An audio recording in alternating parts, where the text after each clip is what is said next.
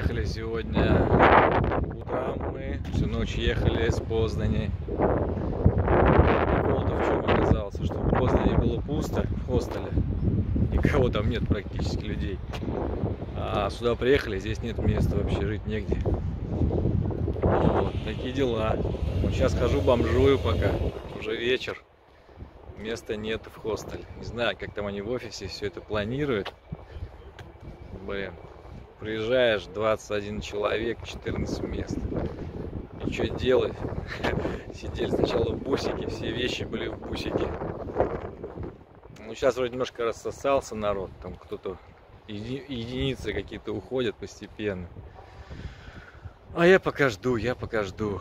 Жду своей, своей, скажем так, своей койки, когда освободится койка для меня. Сижу в коридорчике, еще где придется пока, vamos